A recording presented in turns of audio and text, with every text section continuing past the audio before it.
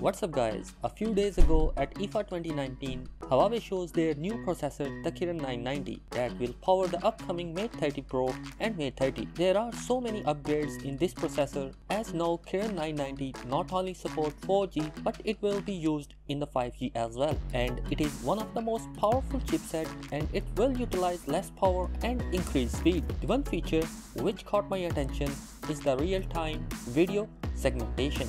Basically what it does by using AI, it can replace people or object or the background from a real-time video. That's right, as you can see in this official video, not only you can replace people or object, you can reorganize them, increase or decrease the size, you can add background blur, change the background and more. You can do all this in real time and that is a real impressive feature. Content creator and video shooter who make a lot of video will love this feature. But the question remains, will it will be going to work as precisely as Huawei showing in this video? Well, I guess only time will tell because we have seen in the past most companies overpromise and underdeliver and that's really disappointing but I hope it isn't the case with the Mate 30 Pro. It's a real cool feature so I am hoping it works as advertised. Another interesting feature in Mate 30 Pro is going to be Face AR which is used for heart rate and breath rate monitor. But just looking at the front camera of Mate 30 Pro, your heart rate and breath can be monitored. By using the combination of image signal processor and AI, the face can measure your heart and breath rate, track face expression, your respiration rate and other health data and all you need to do is to look in front of the camera. Well, Huawei explanation for this is that